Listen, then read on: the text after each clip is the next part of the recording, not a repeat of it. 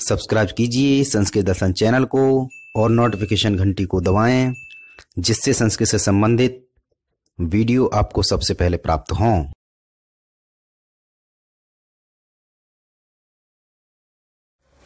संस्कृत दर्शन channel में आप सभी का स्वागत है। संधि प्रकरण चल रहा है और संधि प्रकरण में हमने विसर्ग संधि को समझने का प्रयास किया है और मैंने उसको शॉर्ट विधि बताने का, एक क्रम से बताने का प्रयास किया, सबसे हटके बताने का प्रयास किया है। तो उसके मैंने दो वीडियो में बताने का प्रयास किया, आज हम तीसरा ले लेते हैं। इसमें दो सूत्र समझाने का प्रयास करूँगा आपको, ठीक है?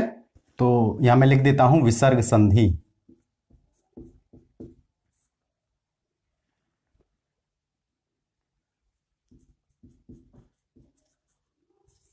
विसर्ग संधि। अब विसर्ग संधि में हमने विसर्ग का बारे में जान लिया और विसर्ग से हटके भी दो सूत्रों के बारे में हमने जाना था। हम एक सूत्र ले लेते हैं, फिर डिटेल में जानने का प्रयास करेंगे।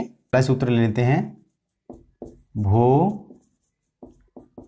भगो, अघो, आ, पूर्वस्य है ना? यो असी यो अशी भो भगो अघो अपूर्वस्य यो अशी इस सूत्र को थोड़ा सा जान लें। ठीक है? ये सब भो। भगो।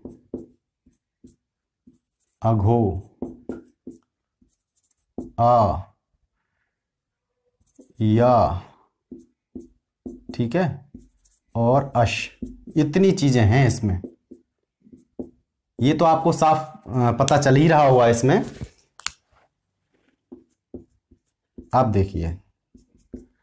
हमने अब तक पढ़ा था जो सा का सा स जूसो रू। याद रखना, इसी के बारे में समझा रहा हूँ मैं आपको। सजुशो रू। इसको मत भूलना, क्योंकि ये इसकी जड़ है। यहाँ से शुरू हुई है बातें। यदि साका जैसे इसमें है, इसको मैं बता दूँगा आपको, है ना? भोस है तो इसका बताऊँगा कैसे हो जाता है, ये आप जानते ही हैं, ससुजु स्वरू बनेगा। और रू का उपदेश अजरनाश का इत से इत संज्ञा हो जाएगी तो बन जाएगा भोर। ठीक है? ऐसे ही ये भगोश है, ये अघोष है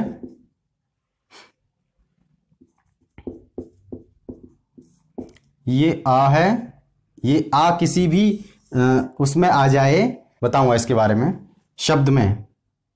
तो या हो जाता है, या हो जाता है। यदि अश प्रत्याहार परे हो तो अश का मतलब आयुण से शुरू होता है और जब गढ़ दस्तक वो खत्म हो जाता है।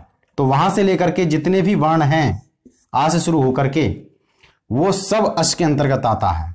ठीक है? अब देखिए। साफ़ बताता चलो इसको तो इसको हो जाएगा भगोर, है ना? इसको हो जाएगा अघोर। और इसका मैं उदाहरण आपको थोड़ा बाद में समझाऊँगा। इसका नहीं, ये वाला गलत बता बता दिया मैंने आपको।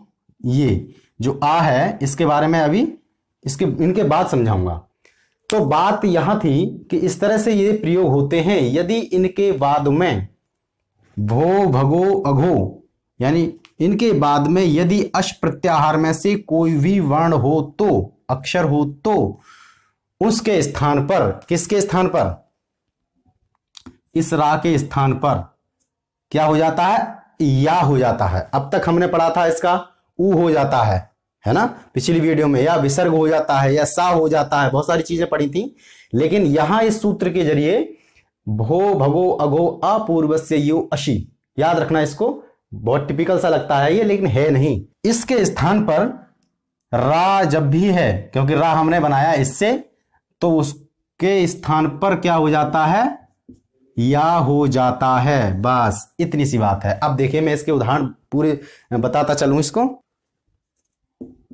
देवाह नमस्ते। याही। ठीक? अब क्या बन जाएगा इसके स्थान पर? मैं यही इसके स्थान इसको मैं ऐसे कर लेता हूँ जिससे आपको साफ़ समझ में आ जाए। इसका नंबर है पहला। पहला नंबर ले लेता हूँ, है ना? यहाँ पे। ये पहला। ये है दूसरा। और ये है तीसरा। यहाँ से इसलिए मैंने किया है कि आपको सारी सब बातें साफ़ होती चली जाए। ये जो रा हुआ है, इस सूत्र से हुआ है सा का, ठीक है? ये जब ही होगा, ये याद रखना, अब यहाँ जो कंडीशन लागू हो रही है, इसके बाद ये सूत्र प्रयोग होगा। इससे पहले जो भी सूत्र है, वो ये है, ठीक है? चलिए तो यहाँ बन जाएगा ये भोर धन देवा। आप देखिए, यहाँ मैंने इसको उतार लिया यहाँ पर। अब ये सूत्र कहता है कि इसके बाद में, क्योंकि जो दा है, जब गढ़ द, इसमें आ रहा है, अर्थात अश प्रत्याहार के अंतर्गत ही आ रहा है तो रा के स्थान पर या हो जाएगा। तो बन जाएगा ये भोय देवा। ठीक है? ये हलंत है ध्यान रखना जल्दी में, मैं थोड़ा बड़ा बड़ा देता हूँ इसको। भोय धन देवा, ये बन गया। अब बन गया तो ये सूत्र हो गया कंप्लीट लेकिन इसके बाद में एक सूत्र और दे दिया गया है, उसको और बताता चलूँ, क्योंकि ये बहुत ही मुख्य है दूसरा वाला। हली सर्वेशम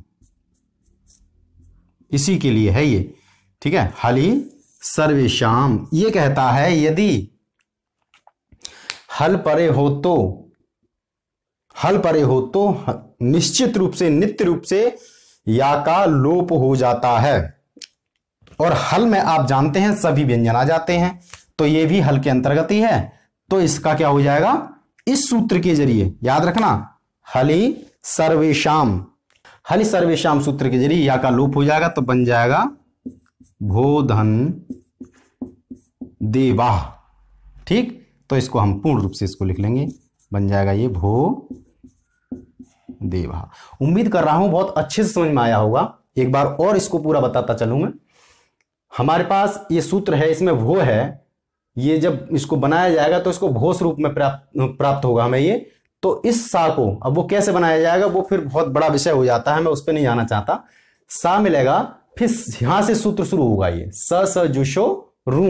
से इसका रू होगा, सा का फिर उपदेशे अजननाश का इत से इसको इत संज्ञा होगी, बचेगा हमारे पास रा। तो बन गया भोर। उसके बाद यदि कोई शब्द है जिसमें अश प्रत्याहार है, प्रत्याहार के अंतर्गत आने वाले वर्ण हैं तो फिर ये सूत्र लागू होगा। बन गया ये भोर धन देवा, मैंने यहाँ उतार लिया इसको, भोर धन देवा। अब यहाँ पर अश प्रत्याहार में दा रहा है तो रा के स्थान पर इस सूत्र के अनुसार या हो जाएगा, भोय धन देवा। ऐसे बन गया। प्रयोग तो ऐसे ही कर लेना चाहिए था, लेकिन इसी के साथ में पांडे जी ने हमें दूसरा सूत्र दे दिया कि ठीक है, ये या बन गया तो हल सर्विसाम यानी हल अगर प्राप्त हो या के बाद में तो उसका नित्य ही लोप हो जाता है। हल के बोला है, जब स्वरों की बारी आएगी तो उसमें नित्य नहीं होगा, वहाँ विकल्प से उसका लोप होगा। तो वो धन देवा, यहाँ पर जो या का लोप हुआ है, वो इस सूत्र से हुआ, ठीक? और ये हमारा रूप सिद्ध हो गया। जब रूप सिद्ध करना सिखाऊँगा मैं भविष्य में, कोशिश कर रहा हूँ मैं एक एक करके, जब शब्द रूप बनाएँगे या क्रिया रूप का प्रयोग करेंगे तो इनके फिर डिटेल में, क्योंकि ये संधियाँ वहाँ बहुत काम करेंगी तो वहाँ प्रयोग बताएँगे कैसे कैसे ये सिद्ध होते हैं रूप ठीक है? इस तरह से ये प्रयोग कर लिया। अब मैं दूसरा आपको बता दूँ इसी में। अब रह गया नहीं कुछ भी नहीं रह गया इसमें बताने को, अब तो आप कर ही लेंगे। फिर भी मैं यहाँ बता देता हूँ। देखिए, दूसरा देख लो। क्या है दूसरा? भगोर नमस्ते। ठीक है? भगोर धन नमस्ते। अब ये हलंत है, इसका क्या आ जाएगा? रा हो जाएगा। रा का क्या हो जाएगा? या हो जाएगा, और ये नमस्ते। क्यों हो जाएगा? क्योंकि ना जो है, अश के अंतर्गत आ रहा है, और ये व्यंजन भी है तो हाल ईश्वर विश्राम से या का लोप भी हो जाएगा। तो भगो धन नमस्ते।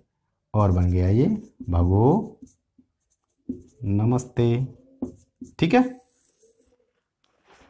सही से समझ में आ रहा होगा? चलिए, अब मैं आपको तीसरा भी बता दूँ। अब मेरे बताने का कोई औचित नहीं है, क्योंकि ये आपको इतनी ही बात में समझ में आ गया होगा। फिर भी मैं यहाँ बता देता हूँ। अघोर धन या ही बन जाएगा ये। रा किससे हो जाएगा। रा का या बन जाएगा। इस वाले सूत्र से भो भगो अघो आपूर्व से युवाशी से, क्योंकि यह हमारे पास अश प्रत्याहार के अंतर्गत आने वाला है और ये चूँकि व्यंजन के अंतर्गत आता है तो हली सर्विशाम से या का लोप भी हो जाएगा।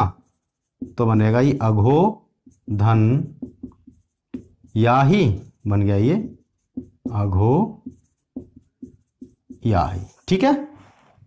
तो ये बातें आपको साफ़ समझ में आ गई होंगी। तो मैं अब इन सबको मिटा करके अब या ये वाला लेता हूँ, ठीक है? ये छूट गया था हमसे। मैंने बताया था, इसको बाद में बताऊँगा। पहले ये साफ़ कर दूँ, है ना? चलिए, इसको हटा देता हूँ मैं यहाँ से। तो इसमें रहेगा तो आपके दिमाग में कहीं ना कहीं दिक्कत हो जाएगी। अब देखिए। देवास धन ही। मैं इसलिए यहाँ सा लिख रहा हूँ क्योंकि पिछली वीडियो में हालाँकि बता दिया था, मैं लिखूँगा नहीं, लेकिन समझते चलो। इससे इस सूत्र से देवार हो जाएगा इसका, है ना? और यही हमारे पास है, ही है। अब इससे दो चीज़ें समझ में आ जाएँगी। एक तो ये समझ में आ जाएगा, दूसरा हाली सर्वेशम वाला भी इसमें साफ़ हो जाएगा। अब हमारे पास ये जो आ है, आ जो पूर्व में है, देखिए यहाँ पर दीर्घ के आ के रूप में अंतर आ रहा है। जब हम अचों का अध्ययन करते हैं तो वहाँ भी दीर्घ आ के बारे में कोई बात चर्चा नहीं की गई है। आ ई सीधा कर दिया गया। आ ई उ ह्रस्व को लिया गया है और उनको हम दीर्घ के रूप में ले ही लेते हैं। तो यहाँ दीर्घ में आ गया। अगर ह्रस्व होता ये तो अतोरोर प्रताद पुलते के अंतर्गत रा के और बाद में भी अगर ह्रस्व होता, आ होता तो फिर क्या बन जाता? ऊ बन जाता उसका। ठीक है? खैर तो यहाँ हमारे पास ये दीर्घ है। आ यानी आ है बाद में हमारे पास आ नहीं है तो ई है, ठीक है? और हमारे पास कोई भी अश भी नहीं है। ये जो वाला अश है सॉरी अस है हमारे पास, हल नहीं है। हल सर्विशाम के अंतर्गत आने वाला हल नहीं है, स्वर है। तो अब इसमें देखिए। तो हम क्या करेंगे इसको? दीवार का या होगा, धन ई होगा, है ना? इसमें लोप, एक सूत्र और आता है, लोप शाकालस्य। शाकालस्य एक प्राचीन वो विद्वान हुए हैं, वैयाकरण हुए हैं तो उनके मत में इसको विकल्प से लोप होता है। तो विकल्प नहीं होगा तो इसको दो रूप बनेंगे। क्या बनेगा? देवाहि, प्रथम रूप, विकल्प वाला, और इसके अनुसार इसके अनुसार तो कुछ होगा ही नहीं क्योंकि मतलब ही नहीं बनता। और देवा ई ठीक है? इस तरह से ये प्रयोग कर लिया जाएगा। तो उम्मीद है ये आपको बड़े अच्छे से समझ में आ गया होगा। मैं इसी में एक सूत्र और समझाने का प्रयास करूँगा आपको। इसको मिटा करके दूसरा सूत्र लेते हैं हम। उसमें हम चलते हैं, ठीक है?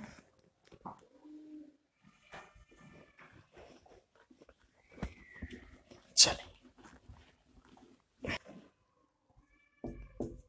रोरी सूत्र का है रोरी, ठीक है?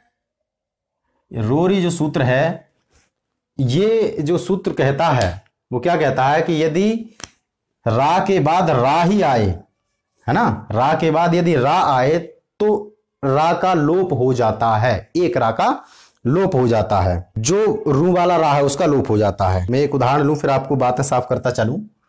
जैसे, पुनर्धन रमते, ठीक है? अब ये पुनर्रमते और हमने जो सूत्र पढ़े थे, उससे क्या हो जाता था? किसी का ऊ बन जाता था, किसी का विसर्ग बन जाता था, और बहुत सारी बातें बन जाती थी, और या भी बना है इसका। लेकिन यहाँ क्योंकि रोरी से रा आ रहा है, रा के बाद में रा आ रहा है तो इसलिए इस रा का लोप हो जाएगा। बचेगा पुनर्धन रमते, ठीक है? अब ये बन गया इतना, पुनर्धन रमते। लेकिन इसमें एक सूत्र और प्रयोग किया गया है, ड्र लोपे ढ लोपे ढ लोपे पूर्वस्य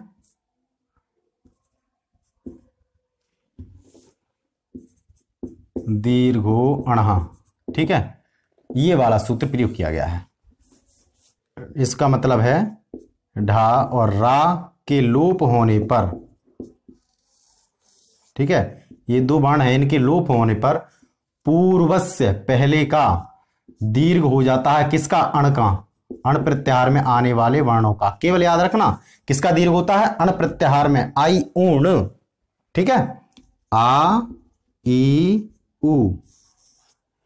इनका दीर्घ हो जाता है। ठीक? तो पहला सूत्र कहता है कि रा के बाद में यदि रा आए तो उसका लोप हो जाता है। दूसरा कहता है जो लोप होता है, उसके पहले वाले वर्ण का क्या हो जाता है? यदि उसमें आ, ई, उ में से कोई भी अक्षर है तो उसको दीर्घ हो जाता है। तो पूरा दोबारा से लूँगा मैं इसको। पुनर्धन रमते, है ना? अब बन जाएगा ये पुनर्धन रमते। अब हमारे लिए कह दिया उसने कि इसको दीर्घ हो जाएगा। अभी तक स्थिति क्या थी? केवल लोप वाली स्थिति थी। तो यहाँ से हमें क्या बन जाएगा ये? पुनः धन रमते, ठीक है? बन जाएगा ये पुनः रमते। बहुत आता है। इस तरह के जो आते हैं, वो बहुत प्रश्न पूछ ले जाते हैं परीक्षा में और इसमें बहुत ज़्यादा गलत होते हैं। इसमें मैं और दो चार आपको उदाहरण देने का प्रयास करूँगा। जहाँ गलतियों की संभावना ज़्यादा होती है, वही बताने का मैं प्रयास करूँगा आपको, ठीक है? चलिए, एक और देख लेते हैं हम उदाहरण इसका। हरिर। अब आप समझ लेना कि रा कैसे बन गया। हरिस के बाद में था ना, ठीक है? रम्य। ये था। रा के बाद में रा रहा है इसलिए इस रा का लोप हो जाएगा। और ये हरे धन रम्य होगा। अब हमारे पास यहाँ अण के अंतर्गत आने वाला ई है। तो ड्र लोपे पूर्व से दीर्घ अण से क्या हो जाएगा? इसका दीर्घ हो जाएगा। तो हरि धन रम्य बन जाएगा ये। हरि रम्य, ठीक है? इस तरह से इसको प्रयोग कर लिया जाएगा। इसमें विसर्ग लगा लेना आप, ठीक है? मैं कभी कभी भूल जाता हूँ इन चीज़ों को। कुछ थोड़ी बहुत गलतियाँ हो ही जाती हैं बोलते समय। तो हरि रम्य इस तरह से ये प्रयोग कर लेते हैं। दो उदाहरण आपको और देने का प्रयास करूँगा जो ज़्यादातर परीक्षाओं में आते हैं। पहला देख लीजिए आप। अंतर धन राष्ट्रीय है ना? ये ये मानिए कि इतना आता है ए, बहुत ज़्यादा ये प्रयोग किया जाता है। ये जब हम टीईटी का परीक्षा ने दी थी हमने तभी भी ये आया था और लगभग नब्बे प्रतिशत लोगों ने इसको गलत किया था है ना? क्योंकि हम लोगों को जो अमूमन जो अखबारों पढ़ते हैं या वैसे ही पढ़ते हैं तो अंतर्राष्ट्र ऊपर मिलता है हमको। लेकिन रा के बाद में हमको रा प्राप्त हो रहा है, इसलिए इस सूत्र से पहले वाले रा का लोप हो जाएगा। बन जाएगा ये अंत धन राष्ट्रीय, है ना? अब जब ये बन गया तो हमें इस सूत्र में ए अण है, आ है तो ड्रिलोपे पूर्व से दीर्घो अण से इसको दीर्घ हो जाएगा। ठीक है? बन जाएगा अंता, धन राष्ट्रीय, है ना? तो ये बन जाएगा अंता राष्ट्रीय। इस तरह से ये प्रयोग कर ले जाएगा। तो यहाँ ऊपर रा ना उड़ करके अंता, यानी कि बड़ा बन जाएगा। अगर इसको किसी को बताते हैं हम, जिसको सही से समझाने ये सूत्र को तो कहते हैं ये गलत है। नहीं, ये ही शुद्ध है और ये मैंने बहुत परीक्षाओं में देखा, बहुत आता है। इनमें इस वाले से एक ना एक प्रश्न अवश्य रहता है, ये मान के चलिए आप। ठीक है? एक उदाहरण और बताने का प्रयास करता हूँ मैं आपको। जो विवादास्पद है, मनस धन रथ। थोड़ा ध्यान देंगे तो बात साफ़ हो जाएँगी, क्योंकि जो मैं बताने जा रहा हूँ, इसमें क्या बनेगा? पहले इसको मैं बना लू, है ना? मनर धन रथ। ये बना। अब रा के बाद में रा आ रहा है तो रा का लोप हो जाना चाहिए था। लेकिन ये हमने देखा है, ये प्रयोग कैसे किया जाता है? मनोरथ। इस तरह से ये प्रयोग किया जाता है। तो वो कैसे हो गया? मना रथ होना चाहिए था इसका तो मना रथ होना चाहिए था, लेकिन नहीं हुआ।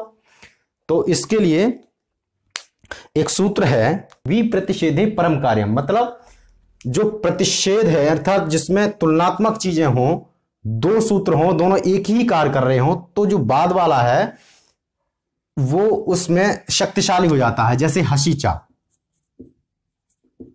हस प्रत्याहार था, उसमें भी रा का प्रयोग किया जा रहा है, और रोरी में भी रा है।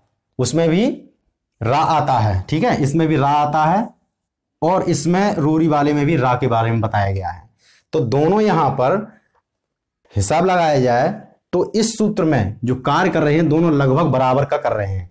वहाँ रा को ऊ बनाने का काम कर रहा है ये। ये रो, रोरी जो है वो रा को लुप्त करने का कार्य कर रहा है। दोनों कार्य उनके शक्तिशाली हैं दोनों बराबर हैं।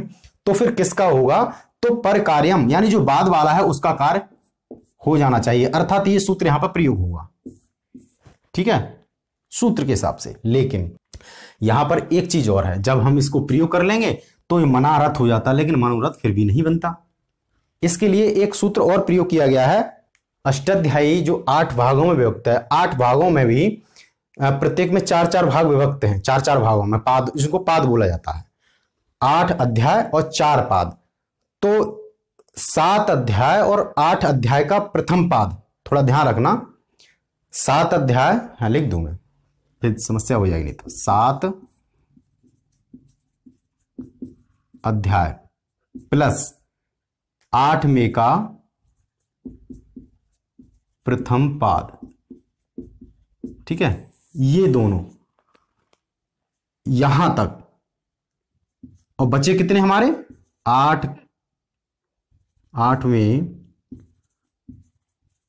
अध्याय के तीन पाद। ठीक? ये तीन पाद बचे। जब भी इनमें से कोई सूत्र हो और इनमें से भी कोई सूत्र हो, दोनों में तुलनात्मक हो, दोनों ही लागू हो रहे हो तो जैसे लागू इसमें यहाँ रोरी हो रहा है, पूर्ण रूप से ये सिद्ध हो गया कि ये रोरी के अंतर्गत आएगा।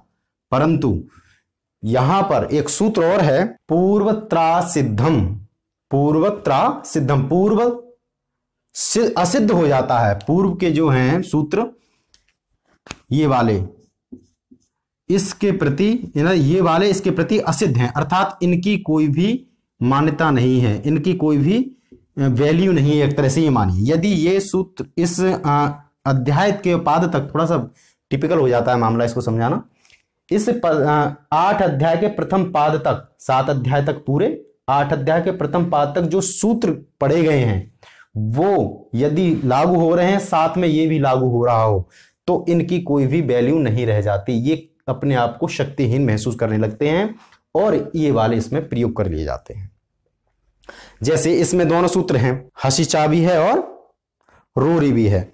हसी चा जो है वो छठवें अध्याय का है और रोरी जो है आठवें अध्याय का है। तो इसलिए हसी चा सपाद ये इसमें है हसीचा वाला। और रोरी जो है वो इसके अंतर्गत आता है, इसलिए इसकी कोई भी यहाँ वैल्यू नहीं रहती, शक्तिहीन हो जाता है। इसलिए रोरी यहाँ पर शक्तिहीन हो जाता है और हसीचा इसमें प्रयोग कर लिया जाता है। उम्मीद है थोड़ा सा प्रयास किया है मैंने इसको समझाने का। आपको अच्छे से समझ में आ गया होगा। इसको समझना थोड़ा कठिन हो जाता है। याद रखो, एक बार और बताऊँगा। आठ अध्यायों तक, सात अध्याय पूरे, आठ अध्यायों का प्रथम पाद। के यदि सूत्र लागू हों और आठवें अध्याय के जो तीन पाद बचे, उनके भी सूत्र लागू हों एक जगह। तो आठ अध्याय के प्रथम पाद तक जो सूत्र हैं, वो बलवान होते हैं, शक्तिशाली होते हैं, उनका कार्य मतलब उनके द्वारा वो कार्य किया जाता है, ना कि आठवें अध्याय के जो तीन पाद बचे उनके द्वारा। ठीक है? उन्हीं को असिद्ध बोला गया है यहाँ। चलिए, अब मैं इसको मिटाऊँगा तो आप बातें समझ में आ गई होंगी, उम्मीद कर रहा हूँ। ना आई हो तो मुझे बताने का प्रयास करना। तो मैं जब संज्ञा प्रकरण का संपूर्ण अध्ययन कराऊँगा, संज्ञा, इसके संधि के बाद में संज्ञा प्रकरण लूँगा, उसमें भी समझाऊँगा इसको तो मैं और अच्छे से बताने का प्रयास करूँगा। तो अब यहाँ पर ये हसीचा प्रयोग किया जाएगा, ठीक है? बन जाएगा ये, क्योंकि हमें पता है इसके साथ क्या होता है? ऊ का प्रयोग होता है, और ये रथ। तो ये आद गुणा से गुण संधि हो जाती है इसकी, मनो धन रथ बन जाता है ये। मनोरथ। इस तरह से आने वाले और भी जो शब्द हैं, वो हसी चा के अंतर्गत ही प्रयोग किए जाएँगे। मैंने यहाँ संधि का जो विसर्ग का था, वो तीन वीडियो में लगभग समझाने का प्रयास किया और अपनी तरफ़ से पूरी कोशिश की है। यदि कोई कमी रह गई हो तो उसको भी अवश्य बताएँ, क्योंकि मैं और भी आगे जो वीडियो समझाने का प्रयास करूँगा या सूत्रों को समझाने का प्रयास करूँगा, उनमें और अच्छे से प्रयास करूँगा। मेरा यही उद्देश्य है कि आपके सही से समझ में आ जाए। जहाँ अध्यापक नहीं होते, वहाँ समझाना थोड़ा टिपिकल पड़ जाता है। यदि सामने अध्यापक हों कोचिंग होती है स्कूल होते हैं, विद्यालय होते हैं तो उनमें तो सामने पूछ सकते हैं प्रश्न को, लेकिन यहाँ माध्यम है कमेंट का। आप कमेंट कर सकते हैं और हम उसका आंसर देने का प्रश्न का उत्तर देने का पूरा प्रयास करेंगे। और यदि आपके कोई मित्र अध्ययन कर रहे हो तो उनको भी हमारी इन वीडियो को शेयर करें लाइक करें। आज इतना ही। जय हिंद।